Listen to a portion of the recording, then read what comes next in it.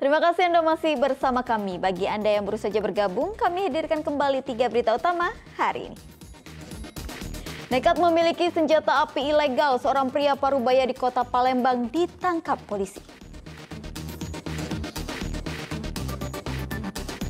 Guna mencegah jumlah kasus demam berdarah semakin tinggi, tim Dinas Kesehatan Ogan Komering Ulu Selatan melakukan fogging atau pengasapan di permukiman Kecamatan Muara II.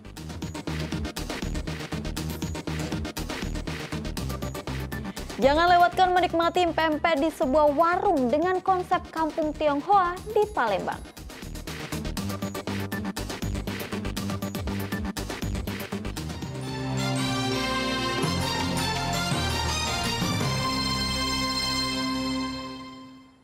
Bertahun-tahun rusak. Jalan di desa Kampung Sawah, Kabupaten Ogan Komering Ulu Timur akhirnya diperbaiki.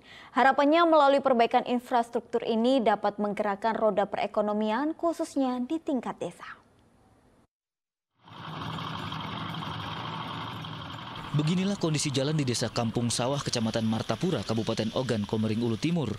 Bertahun-tahun jalur tersebut rusak. Untuk melintas, warga harus hati-hati karena penuh lubang dan berdebu. Padahal jalan ini satu-satunya akses menuju kebun dan sawah. Namun kini petugas Dinas Pekerjaan Umum Tata Ruang PUTR Ogan Komering Ulu Timur mulai memperbaiki jalan sepanjang hampir 300 meter ini menggunakan cor beton. Perbaikan jalan disambut antusias warga. Terima kasih sebelumnya untuk pemerintah Kabupaten Ogan Timur yang telah membangun jalan kami ini setidaknya kami terbantu untuk mengangkut hasil panen kami dari sini biar tidak susah payah jalannya semakin bagus pembangunan di Oku Timur. Ya, pendapatan eh, masyarakat Pak ya? Iya benar. Uh, Jadi untuk naikkan masyarakat ya? Iya. Ini ya. Jalan sebelumnya sangat hancur.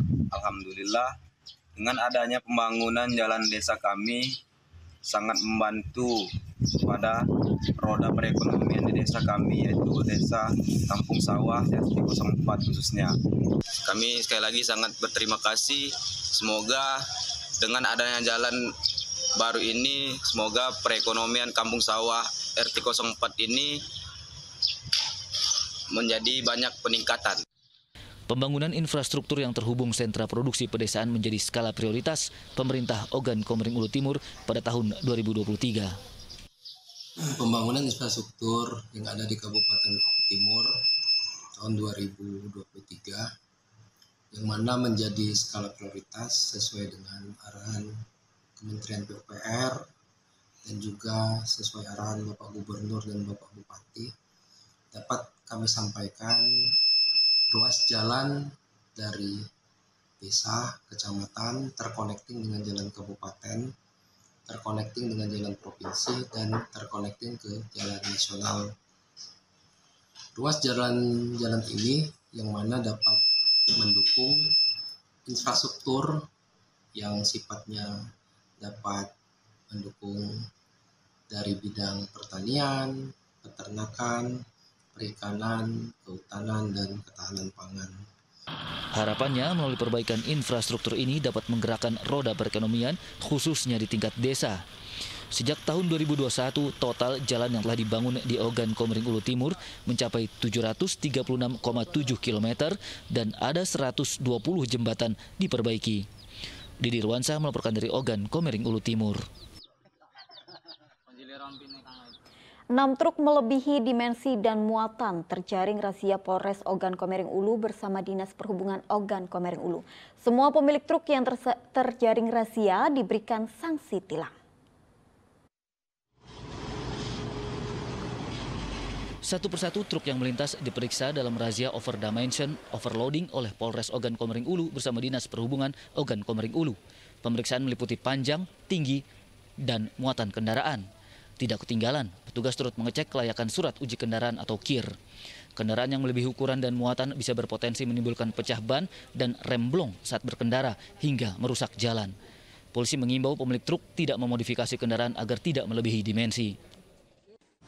Dengan Dinas Perhubungan untuk melakukan pengecekan fisik kendaraan berikut pengukuran dimensi agar kita semua dapat terhindar dari hal-hal yang tidak diinginkan karena kendaraan odol potensi penyebab fatalitas laka lantas.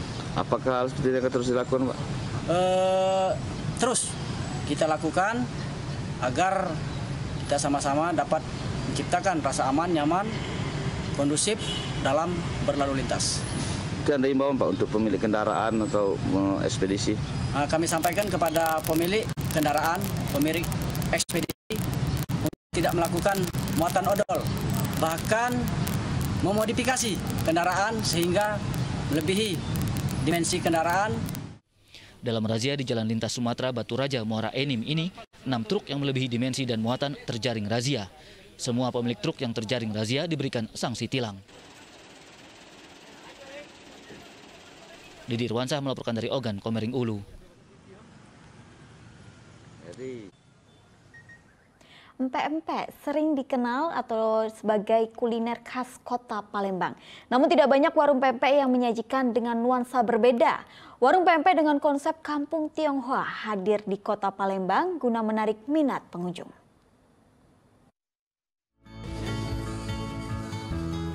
Berbeda dengan kebanyakan restoran penjual empek-empek, tempat yang satu ini berinovasi menampilkan hiasan etnik Tionghoa untuk menarik minat pengunjung.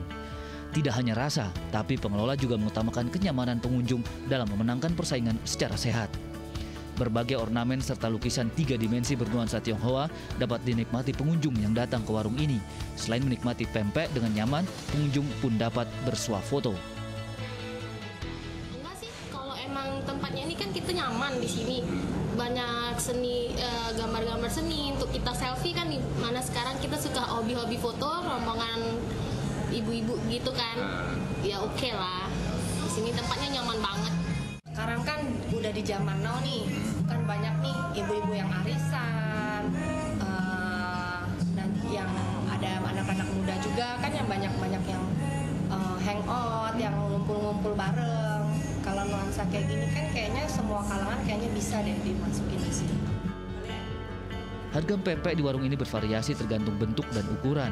Warung pempek ini sengaja mengusung konsep kampung Tionghoa guna memuaskan pengunjung. Apalagi sejarah munculnya pempek tidak lepas dari peran masyarakat Tionghoa di kota Palembang. Didi Ruansyah melaporkan dari Palembang.